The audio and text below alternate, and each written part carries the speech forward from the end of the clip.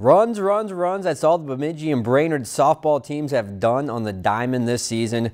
Rewind the last year's matchup between these two. A combined 31 runs were scored in the Warriors win. What will transpire this afternoon as the Jacks travel to Brainerd? Fifth inning we go. Brainerd's Elena Christensen finds some green in left field. That'll score Sadie Jordan. They're up four zip. Three batters later, it's Claire Sinoa lining it to the wall in right field here. The all-star Kylie Lang will cross the dish. That puts the Warriors up six to zip, but the Jacks won't go away easy. Yvette Morgan, she's going to line a single into left here. That'll score Samantha Edlin. But it's all Brainerd today. They go on to win 7 to 4. They are now 10 0 on the season. If you've enjoyed this segment of Lakeland News, please consider making a tax-deductible contribution to Lakeland Public Television.